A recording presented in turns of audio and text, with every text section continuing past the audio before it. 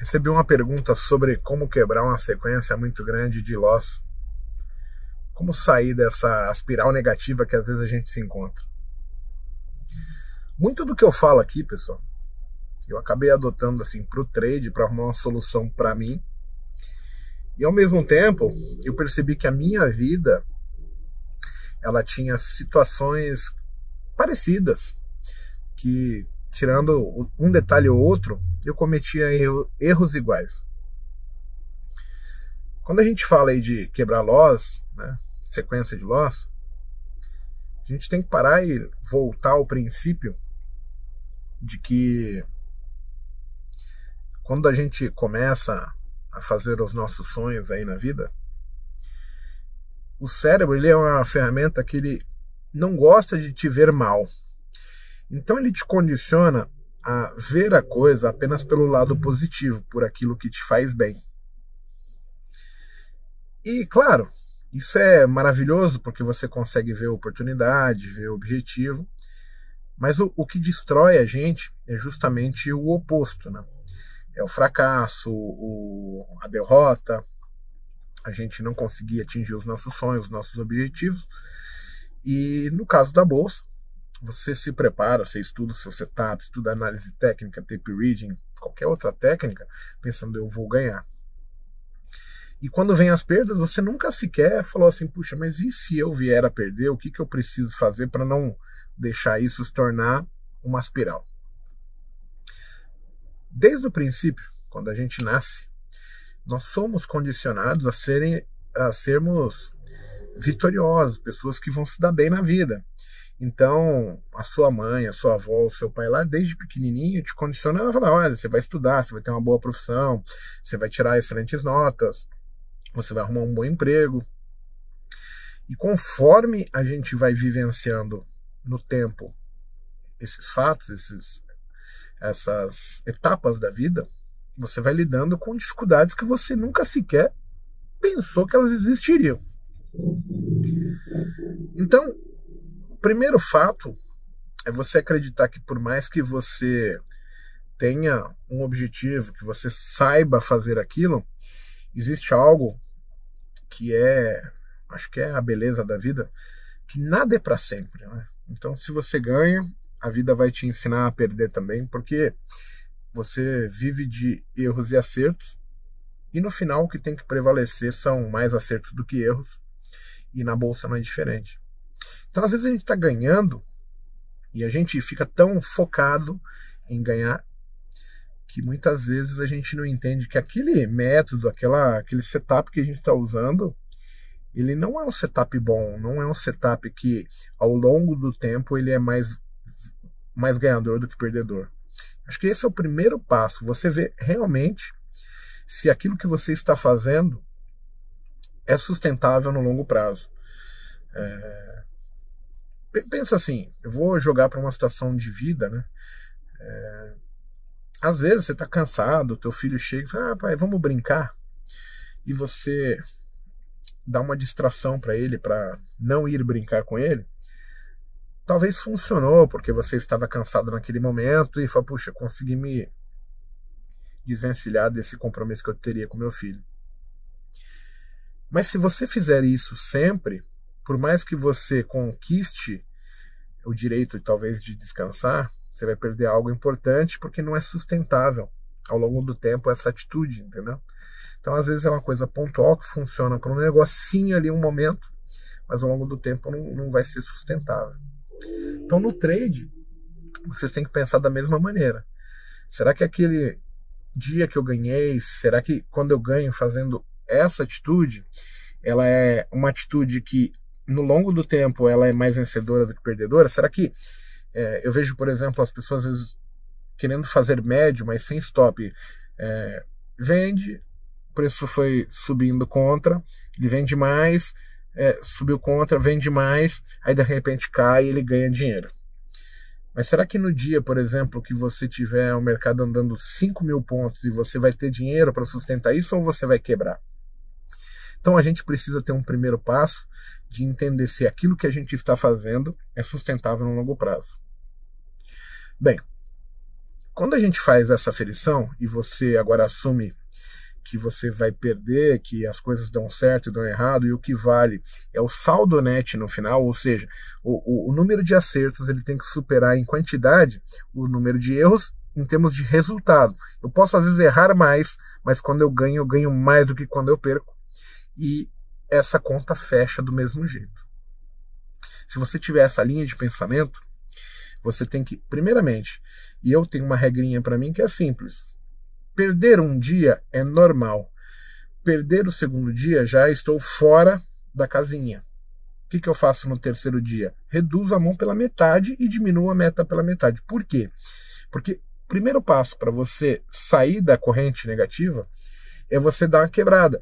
Você tirar a boleta vermelha da tela e pôr uma verdinha lá. E caso isso não ocorra no terceiro dia, eu quebro pela metade a mão de novo. E aí eu começo a por aguentar perder mais dinheiro e agora eu estou operando tão pequeno, a interferência do mercado sobre as minhas decisões ela tem pouco efeito. Por quê? Porque aquilo não me incomoda, não, não mexe mais comigo. O financeiro que eu estou perdendo, que antes era assim, agora está aqui assim, bem pequenininho. Então, esse é um passo importante para você botar a sua cabeça no lugar e começar a ver as coisas como elas realmente são dentro do seu setup, dentro daquilo que você faz no dia a dia. E óbvio, eu tentaria fazer operações que são mais assertivas. Por exemplo, é, vamos operar compra de ajuste, venda de ajuste no primeiro toque. Vamos fazer um rompimento de máxima e mínima do dia. É, máxima de ontem, mínima de ontem. Né? Pontos muito mais assertivos, visando às vezes uma pontuação menor. Para quê? Porque o meu objetivo é quebrar aquela. A, espiral negativa que pegou. Eu, por muitas vezes, né, eu ganhei 7, 8, 9, 10, 15 dias consecutivos, mas basta você perder 2, 3 dias, o cérebro já começa a dar um espiritaco assim, começa a dar piti. E você começa a se questionar, mas puta, será que dá mesmo? Será que eu vou conseguir? É, eu entendo que talvez não seja o nível de todo mundo, mas eu queria deixar uma mensagem para vocês que eu acho que é importante. Quando você aprende a ganhar verdadeiramente do mercado, você não passa mais a se preocupar com o seu dia de loss. Você passa a se preocupar com aquele dia que você acerta tudo, com o dia que você vai ganhar. Porque no final você vai descobrir assim: eu não treino para ganhar o dia, é, o jogo, a batalha. Você está tradando para ganhar a guerra, para você fechar o seu mês positivo.